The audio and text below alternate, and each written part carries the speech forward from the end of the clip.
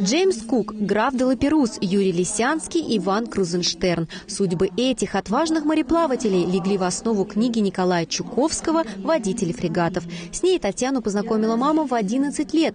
Истории о героических путешествиях и великих открытиях сразу запали в душу, и до сих пор это произведение остается самым любимым.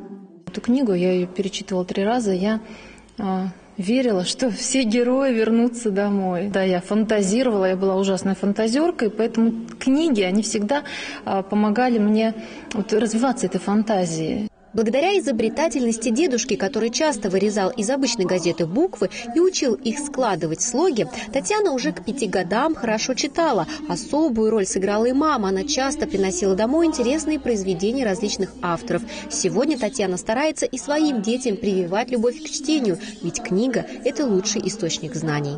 Я думала, да, с кого начать. И вспомнила про Татьяну, потому что я знаю, что она э, мама троих, троих детей. Она работает очень активно, работает с людьми. Я подумала, что она хороший собеседник, и она настроена на общение.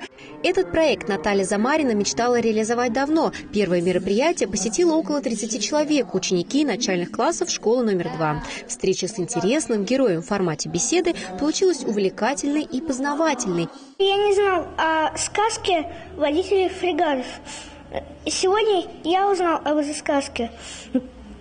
И у меня появилось желание прочитать ее. Был очень интересный рассказ, все было очень интересное. Мы ходим на эти мероприятия еще давно, и нам тут очень нравится.